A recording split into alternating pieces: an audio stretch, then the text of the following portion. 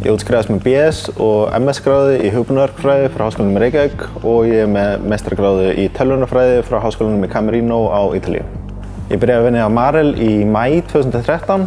Ég starfa fyrst og fremst við forritun en ég fæði takast á við ímisönnu verkefni líka í vinninni. Það var í sjálf og sér ekki einn ein ákveðin kurs sem að hjálpa mig mest í starfunum hjá Marel í dag heldur voru það kennarinnir og hvernig þeir kendu manni að leysa flóki og vandamál. Skemmtilegast við að vinna hjá Marel það að við fáum að taka hugmynd og fullvinnana af vöru sem að er komin inn hjá viðskiptöðunum og er í nótkunn á hverjum degi. Það er náttúrulega þvílíkt ævintýri að vinna á Marel. Við erum alltaf að takast á við mjög flókin og krefindi verkefni og það er auðvitað mjög skemmtileg verkefni. Þegar ég er ekki í vinnunni þá reynir ég að fara að fljúa þegar veður og byrtu skilur í leifa. Ég sem sagt er að læra flug og er á lókmetrunum með það.